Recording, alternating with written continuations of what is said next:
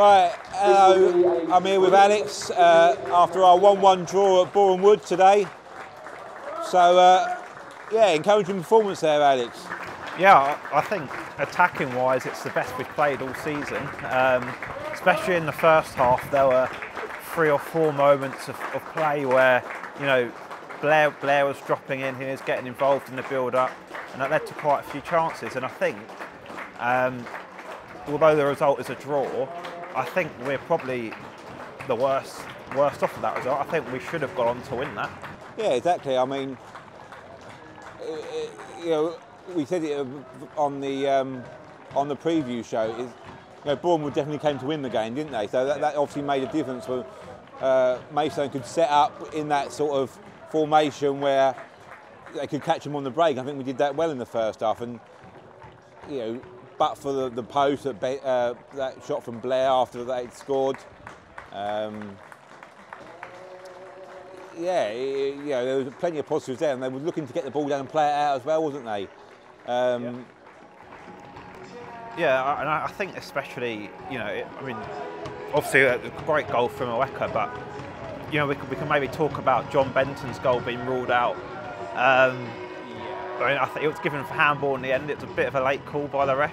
How, did you see it any better? I didn't. No, I didn't at all. I mean, um, it was a good, good. Again, it came from a good bit of play there, didn't it? You know, Charlie Stephen got that ball in, which he was doing all afternoon, getting those crosses in.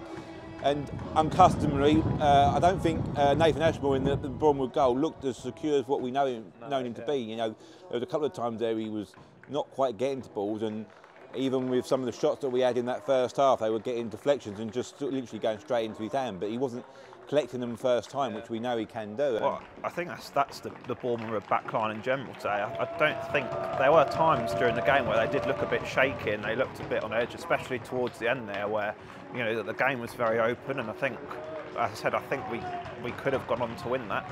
Yeah, definitely. I think you know when when the six added minutes went up there you know, you, you get sometimes when you get that six, eight minutes, you sort of think, oh god, it's going to be a long six minutes, don't you? But you thought, yeah, we've got six minutes to actually go and get a get a goal, and we had a few chances to put the ball in the box, and I mean, it just wouldn't drop for us today. But it's definitely uh, shoots of recovery there. It was, it was definitely a performance of. You know, we deserved the draw, and like you say, we could have gone on to get the win. So absolutely, yeah. Again, you know, two good sides having a go at each other, and hopefully we can, you know, build on that momentum and go on Tuesday night and, and get something at Chelmsford. Yeah, and I think you know last, especially towards the end of last season, when I was watching games, especially I.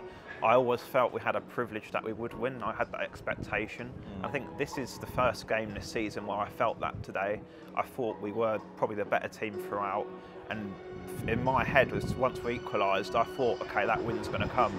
And you know, as I said, it, it didn't quite fall for us today, but it is definitely signs of improvement, signs that the players are gelling. We, as I said, we saw some great passion of play today. Yeah, we did. Um, so yeah, on to Chelmsford and hopefully on, onwards and upwards from here. Yeah, let's hope so. So uh, Stones are in action again on Tuesday evening and we will uh, be resuming our normal customary Stones Live commentary on that game. So join Fred and Joe for that. Um, so until then, come, come on, you Stones. Stones.